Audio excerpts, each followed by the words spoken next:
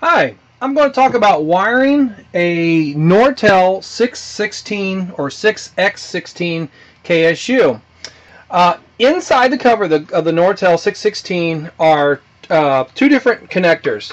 Over on the far uh, left hand side are six of these little modular ports. Okay. And those are going to be from the bottom up. They're going to be line one, two, three, four, five, and 6. You don't have to use all of them, but, but that's where they are. And what you're using is just regular modular RJ11 plugs, and the other end of that plug is going to connect to whatever line source you have. That line source could be, you know, regular telephone lines from the phone company. It could even be a Magic Jack or a cable modem that produces dial tone. Okay, so out of the, the Norstar is also this little Amphenol connector right here.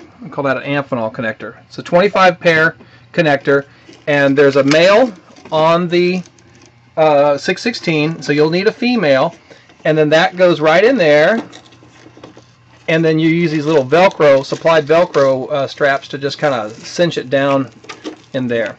Now there's also an emergency telephone jack which rarely gets used and then find even more so now that everyone's got cell phones but if you want to use that, you won't use a system phone. So you won't use one of these phones. You'll use a regular old household phone. You can plug it into there, and what that would do is if you lost power or if the system malfunctioned, it should, in theory, connect your household analog phone uh, to line one. So without power, you should still be able to, you know, make and receive calls on line one. Now let's follow that Amphenol out of the system, and we're going to fan that out on a 66 block. I'm not going to go into the details about fanning out and punching down a 66 block. There's plenty of other information about that you can find. But basically, you, are going with a standard 25 pair of punch down connections. The way the wiring works is the first 16 pair are your stations. So 21, 22, 23, etc.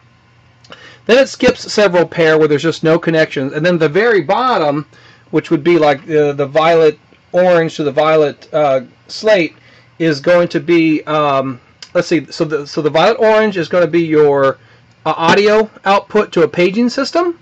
So you know when you use the phone to make a page if you want to go through a PA system too you connect the audio onto uh, orange and, and violet.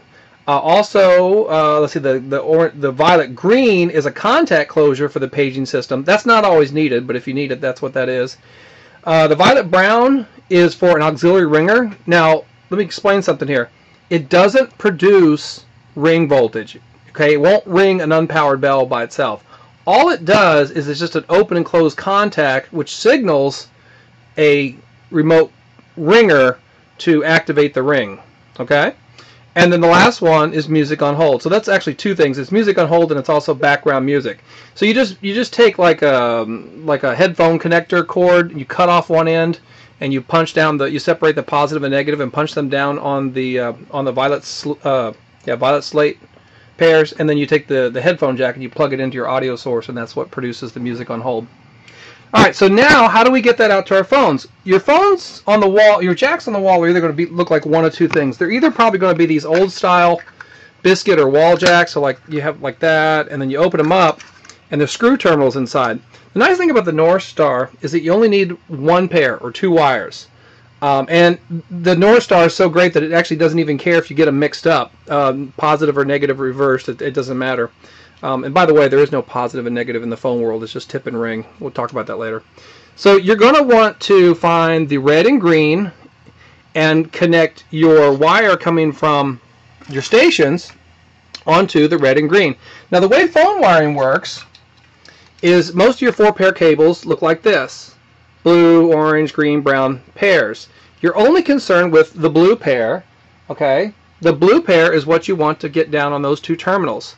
The other end of the blue terminal is going to go on, I mean the blue pair is going to go on these punch down pairs on your 66 block. You also might have something like this, okay? This is a modular RJ45, uh, also called an 8P8C and that's uh, again you're just concerned with with punching the blue pair down onto that and then plugging the phone in. Okay so that's wiring up the 616 I've also got a video about programming which I'll leave uh, at the end of this video so you can see that too.